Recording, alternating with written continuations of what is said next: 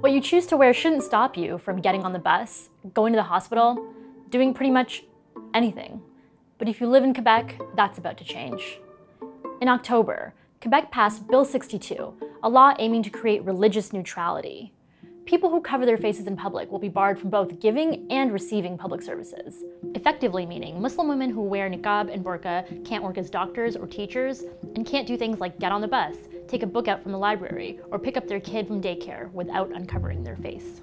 If this sounds vaguely familiar, it's because efforts to ban religious symbols in the province have been in the news for years.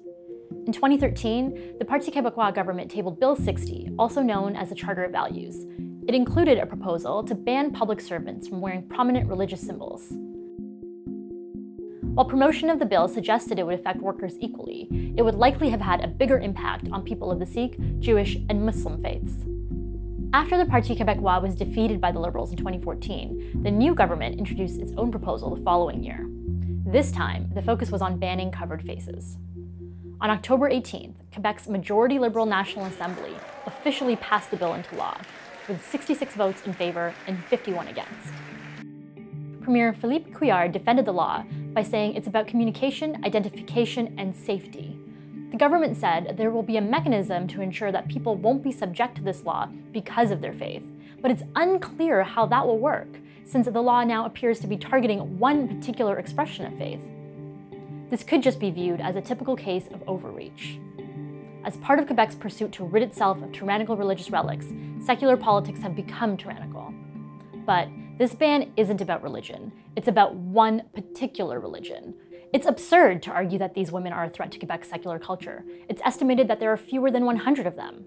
But their image is powerful because they represent the kind of difference some Quebecers are uncomfortable with. And the Liberals know it. The amount of political effort that has been thrown behind this law reveals less about the crusade for secular society than it does about which group is politically palatable to target. Islamophobia conveniently hides behind the shield of secularism in Quebec. And many Quebecers have argued that Islamophobia has a particular history of acceptance there. Last year, a forum poll found 28% of Canadians viewed Muslims unfavorably.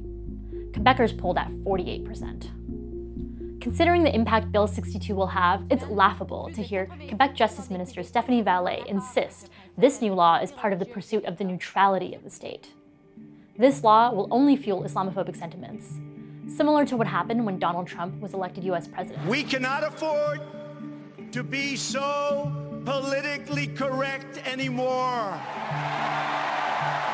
If we've learned anything in the last year, it's that you can't just shove those sentiments back in the box.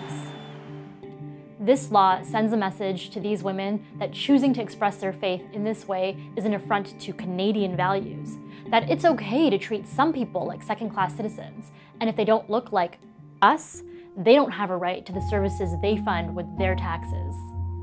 In a year where six Muslim men were killed because of their faith in that very province, the Liberal government has chosen to send a message that Muslims will never belong unless it's on the government's terms. Not only does this law feed the insidious strain of Islamophobia that has taken hold in Quebec, it puts thousands of public servants in the awkward position of enforcing systemic discrimination. The union representing bus drivers in Montreal has already said that drivers don't want to be responsible for enforcement. Many Quebecers have made clear they don't support this law. Protesters covering their faces descended on the metro in Montreal the weekend after the vote. This legislation may not withstand a legal challenge. But either way, it has the added cruel effect of making a small, yet very visible, group of women act as a proxy in an ongoing identity war they didn't ask to be a part of. So no, this isn't what religious neutrality looks like. This is what Islamophobia looks like.